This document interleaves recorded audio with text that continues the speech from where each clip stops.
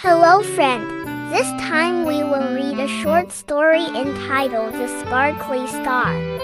Once in a village far, far away, a little star named Stella loved watching over the sleepy town. One night, she wished to bring a little magic to the children below. As she twinkled, a trail of magical stardust fell from the sky. To her surprise, the stardust transformed into shimmering, glowing fireflies.